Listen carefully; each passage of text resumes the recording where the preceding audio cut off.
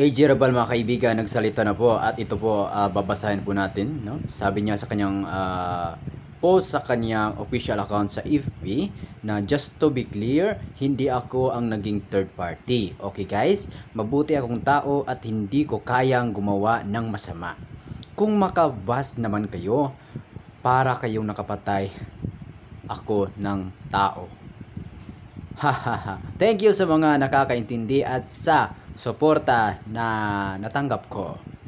Na appreciate ko kayong lahat. Spread love, not hate. Ayan po, si AJ Rabal mga kaibigan ay alam naman natin na isa siya sa magaling ang mahusay na artista at isang vlogger na nagpapasaya at nagpapangiti din ng maraming Pilipino.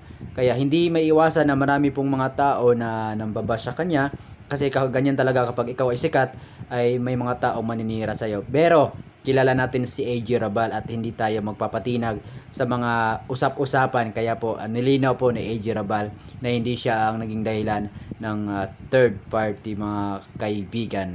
Salamat po! At dahil nandito ka sa aking YouTube channel, sana wag mo kalimutan i-subscribe